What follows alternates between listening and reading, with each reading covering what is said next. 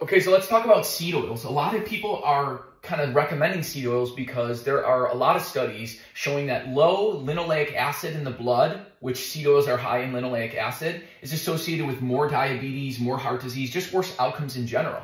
So they're using this to say, since most of our linoleic acid comes from seed oils, this means that a low seed oil intake is bad. But what they don't realize is this is likely due to reverse causation.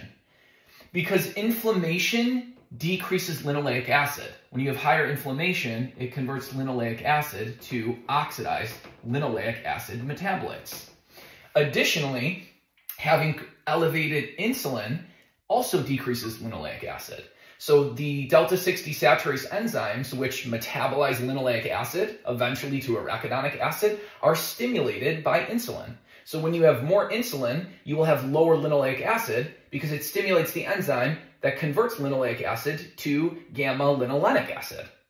Okay, and I'll post the studies in the captions below. But the MESA study also confirmed this, and they specifically stated in their conclusion in their abstract that omega-6 PUFAs are more likely markers of hyperinsulinemia.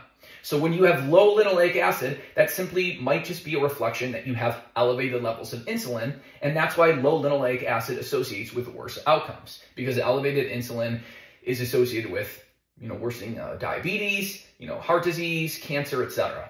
Okay, so people should not be using low linoleic acid in the blood associating with worse outcomes to, to mean that low seed oil intake is bad. Okay, there are also people claiming that seed oil intake is good because low linoleic acid in adipose tissue associates with more cancer. But again, this is also due to reverse causation.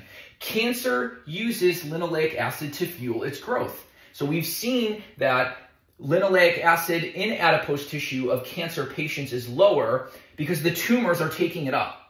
So again, if anyone is trying to use linoleic acid in blood, in red blood cells, in tissues, associating that with worse outcomes, and then to extrapolate that and say, how could seed oils be bad?